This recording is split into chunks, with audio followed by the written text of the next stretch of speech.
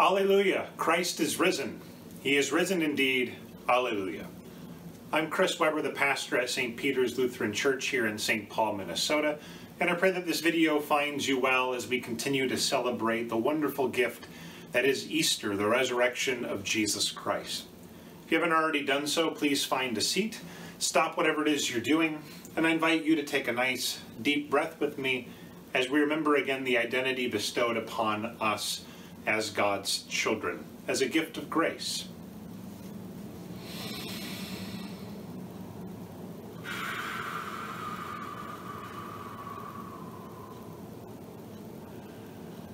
We are those who have been baptized in the name of the Father, and of the Son, and of the Holy Spirit. Amen. We confess our faith using the words of the Apostles' Creed as has been handed down to us. I believe in God the Father Almighty, maker of heaven and earth, and in Jesus Christ, his only Son, our Lord, who was conceived by the Holy Spirit, born of the Virgin Mary, suffered under Pontius Pilate, was crucified, died, and was buried. He descended into hell. The third day he rose again from the dead.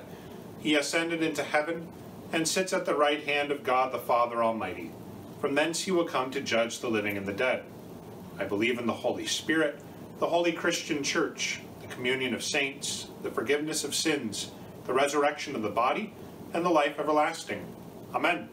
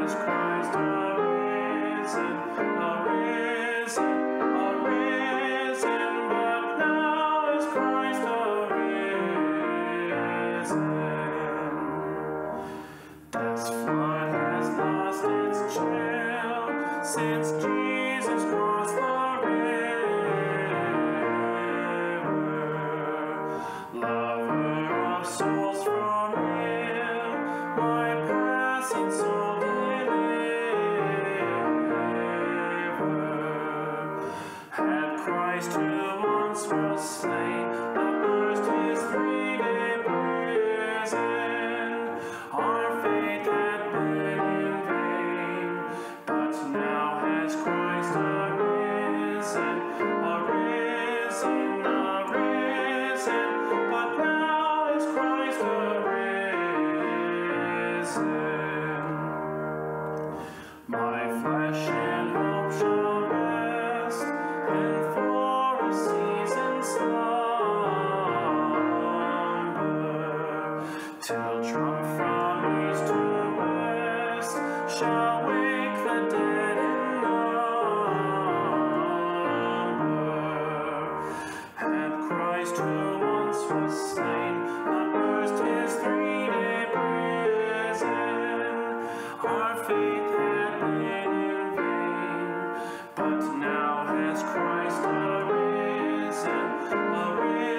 A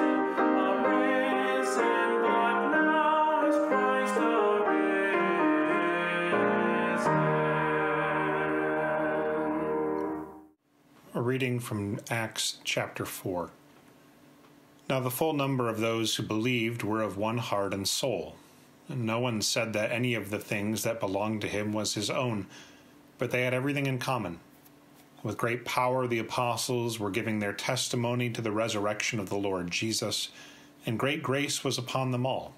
There was not a needy person among them, for as many as were owners of lands or houses sold them, and brought the proceeds of what was sold, and laid it at the apostles' feet, and it was distributed to each as any had need.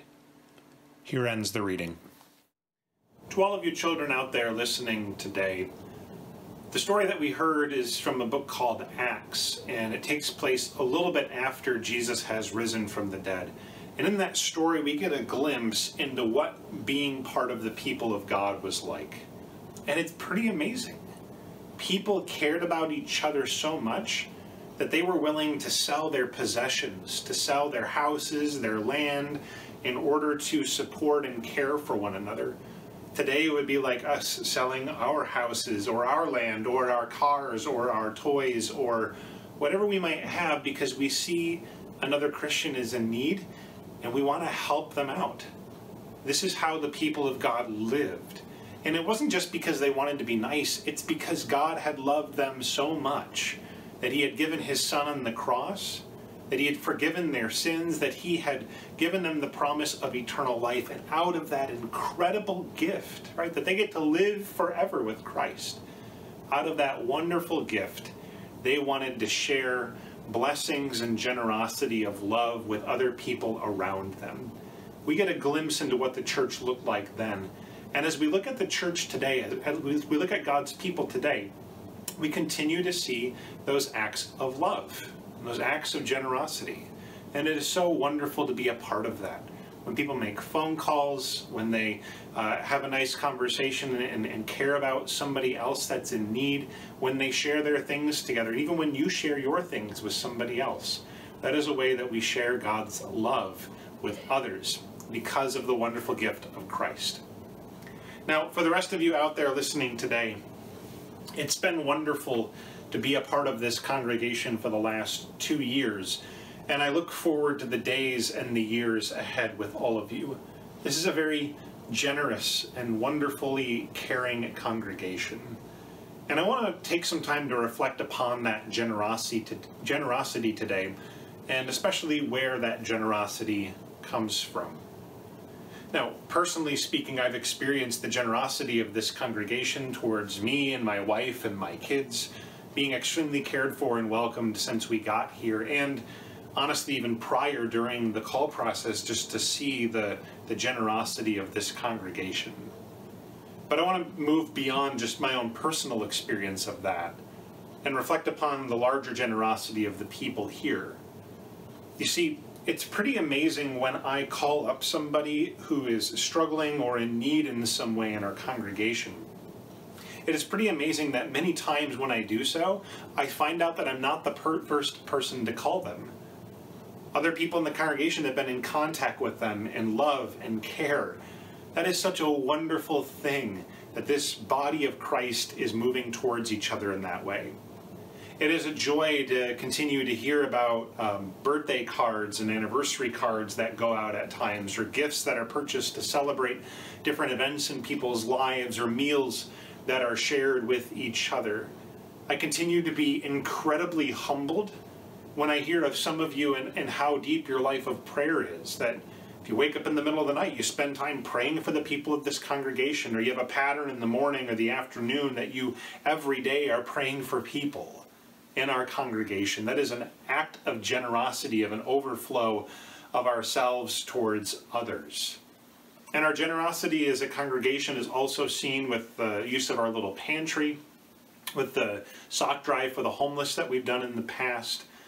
And even more recently this year with the pandemic, even though it hasn't been fun and it hasn't been easy, it is an act of generosity to withhold in-person services at times, even though we don't necessarily like it, or to maintain six feet or to wear masks because we desire the generous abundance of well-being and life for each other and for the surrounding community. Now, as I was reflecting upon this congregation, I was also reminded that this generosity doesn't begin with us because we see it in other places as well. In fact, I imagine many of you have seen and experienced other congregations and their love and care as well. I've been part of other churches where people purchase things for one another's houses, where people call each other up when there is job loss or grief, or other people get to the hospital to see somebody who is sick before the pastor ever does first. This generosity, it doesn't begin with us. We see it in other congregations around us. And it's even bigger than that because it's not just about today, it actually goes back into our past as well. Martin Luther, our famous monk turned reformer, married a woman named Katharina von Bora. Uh, she was a nun, and they got married in June of 1520. Being a monk and a nun, they didn't have any money when they got married. Luther never took any money for the massive amount of books that he wrote, and so the elector gave them the Augustinian cloister as a home for them, cloister being a place where they, uh, many of the monks would live. Uh, because that was closed down, they gave that building to Luther and Katharina as a home. Very large space. Now, after their wedding, on the day of their wedding, after the wedding was done and all the guests went home, they had an unexpected guest show up at their door, a man named Karlstadt. Karlstadt had been kicked out of Saxony and had kind of a mixed past with Luther. But Luther and Katharina took Karlstadt in. This newlywed couple, right, on the night of their marriage, took somebody into their home, and not just that night, but for a number of weeks. In fact, this pattern of hospitality continued after Karlstadt left. Um, yes, Luther and Katharina had their own six children that they took care of. They also uh, took care of four orphans. They housed people that were coming in to study at the university. At the most, they would have up to 25 people living in that house with them, and from what I can tell, they didn't charge anybody anything. Out of their own resources, Katharina would cook meals for everybody. Right? This is incredible generosity, radical hospitality, and it's so incredible to reflect upon that we are part of this, right? This larger heritage of generosity together. But it's bigger than that. It, it goes back, it's not just a Lutheran thing, right? And it goes back even prior to Luther and his wife as well. If we look back in the early church, at certain places and times in the ancient world, there was a uh, awful reality uh, that people could abandon their children. Uh, in certain parts of the world, this was culturally acceptable, that they could just leave their child somewhere if they didn't want them, especially at a very young age. But what's amazing is that frequently the Christian church in those areas where this would happen would often take these children and raise them as their own. Right? That is an act of generosity. It is a huge inconvenience, but it is a desire to, out of their own resources, out of their own life, to offer life to somebody else, to take them in as part of their own family.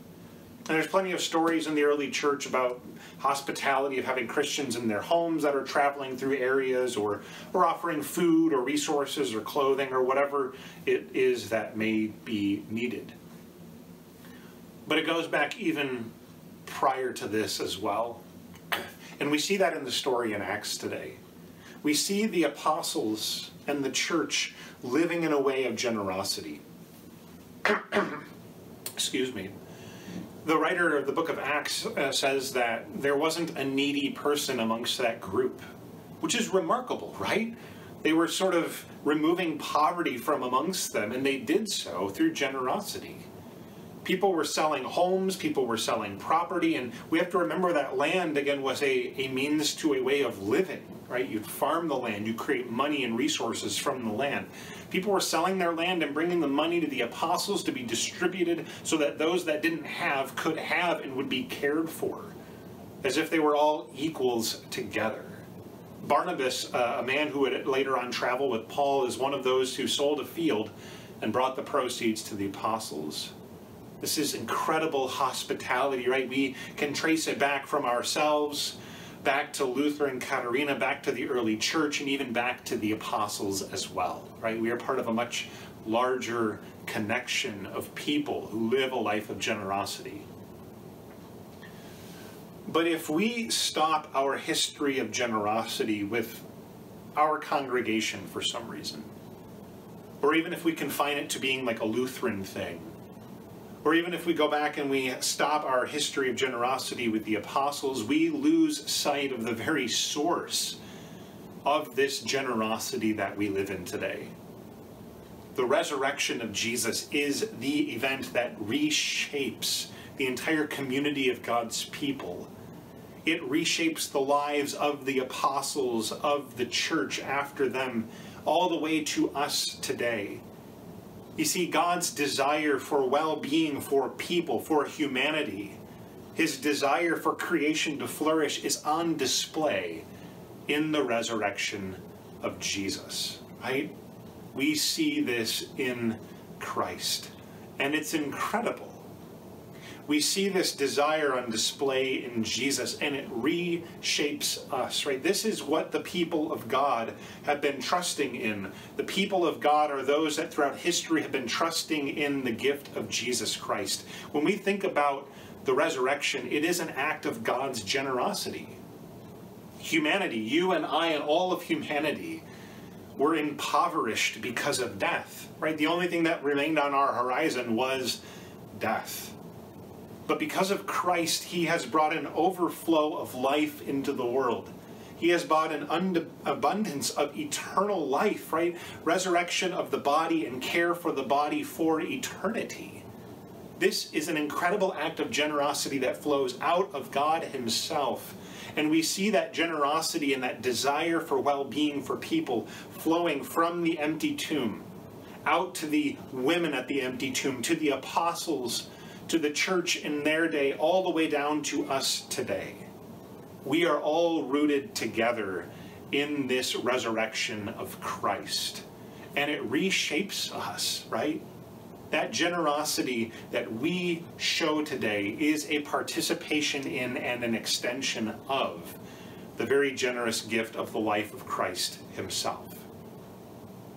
Now, sometimes when we consider examples of generosity, whether it's the story of Acts and the amazing reality that people were selling their property to help alleviate the needs within their own groups, or when we hear stories of Luther and Katharina opening their home and taking care of people, or we hear stories of other congregations and Christians today doing things that are sort of remarkably generous sometimes when we hear those stories, we start to compare ourselves. But the acts of generosity in our unique situation as a congregation or as individuals, no matter how big they may seem or significant or how seemingly small or unnoticed they are, every single one of them matters every single act of generosity, no matter how great or small, how seen or unseen it is, matters because it flows out of the generosity of Christ Himself. It is a work of the Holy Spirit today, bringing the gift of Christ's life into this world, a world in which the victory of Jesus' life will have the final say we see God's generosity in Jesus giving life into the world, and that gift has flown all the has, has flown excuse me, flowed out of the uh, out of the empty tomb through the apostles all the way to us today. And we get to continue to be again a participation and an extension of that great generous gift with the very lives that we live. This is wonderful. It means we are deeply connected with all of the church today around the world and throughout history. We all share in this same foundation of the resurrection. And no matter what it is we are doing as far as our lives of generosity and love goes, all of it matters.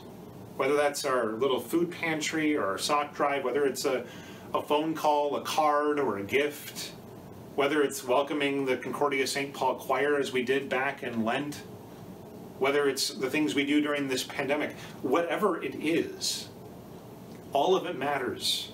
And all of it will continue on in some capacity as a generous outpouring of the resurrection of Christ in our lives. It is such a joy to be a part of this congregation.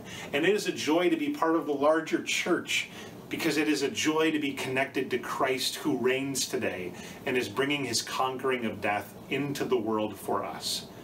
Our acts of generosity may change, and we may not do the same things that we've done in the past. We may do new things or old things, but all of it flows out of that resurrection promise, out of the desire of God for well being for humanity.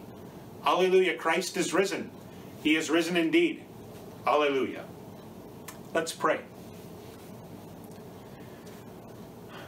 Heavenly Father, we thank you for the generous gift of Christ, for his death on the cross and for his resurrection, and the outpouring of the abundance of life that is enough to fill up death and bring life again. Continue to keep us connected with this generous outpouring by the power of the Spirit. Connected with Christ, who has both died and risen, that we would be considered dead to our sins, but alive in Jesus Christ today. And remind us again and again of this wonderful connection that we share with the church throughout um, the world today and throughout history as well. That all of our acts of generosity flow out of the wonderful same source together and therefore all matter together. Lord, in your mercy. Lord, we do pray for uh, the abundance of life to be poured out in the world today, especially in the midst of sickness and the ongoing pandemic. There are growing concerns around variants in our state, uh, in our country, and in other parts of the world still as well. Uh, but also the uh, we we are thankful for the scientific advancements of vaccines and their distribution as well. Uh, we pray for protection of people, that lives would continue to be spared, uh, even as we know many are getting sick and many are still dying. Bring the hope of the resurrection into this situation, Lord, in your mercy. We pray for uh, the Twin Cities still um, for the reality of, of, racism that has been at work in our country for a very long time, even though it has changed and, and, and taken on different forms over the years. We do pray for the tensions around the court case currently. We lift up to you, again, Derek Chauvin. We lift up to you the family of George Floyd, the jurors in the midst of hearing the case, and all those involved with the case as well. Uh, we pray for justice in the decision that is made. We pray for the police working these days um, in this tense time, and we pray for all the protesters who desire uh, for the protesters and their voice to be heard as well. We pray for our communities, for divisions to be put away, for hatred and even systemic uh, racism to be acknowledged and to be worked against in various ways. Lord, in your mercy, Lord, we lift up to you uh, many places in the world that are suffering still from disasters. Uh, we, um, whether they're natural disasters or whether they are humanitarian disasters inflicted by others. We lift up to you the people of Myanmar, uh, the people of Xinjiang, and the people uh, affected by the recent volcanic eruption that has uh, been taking place, and for others who are upon our hearts and minds today. Lord, in your mercy, Trusting in your promises, we are bold to pray as you've taught us. Our Father, who art in heaven, hallowed be thy name. Thy kingdom come, thy will be done, on earth as it is in heaven. Give us this day our daily bread, and forgive us our trespasses, as we forgive those who trespass against us. And lead us not into temptation, but deliver us from evil. For thine is the kingdom, and the power, and the glory, forever and ever. Amen. Again, I pray that this video finds you well wherever you are today, and that the Lord would bless you and keep you. The Lord make his face shine on you and be gracious to you. The Lord look upon you with favor and give you his peace as his baptized children who are living in the life of Christ, who has been raised from the dead. Until we have the opportunity to see each other again, I pray that you continue to stay connected together because we are all bound together by the Spirit in this gift of resurrection, joined together as one body in our one Lord by this one Spirit. Continue to make good and wise decisions about where you go, the places you go, the people you see, the conversations you have, that we may be uh, putting forward the life of love that Christ desires us to together. And until we have the opportunity to see each other again, I pray you have a blessed week.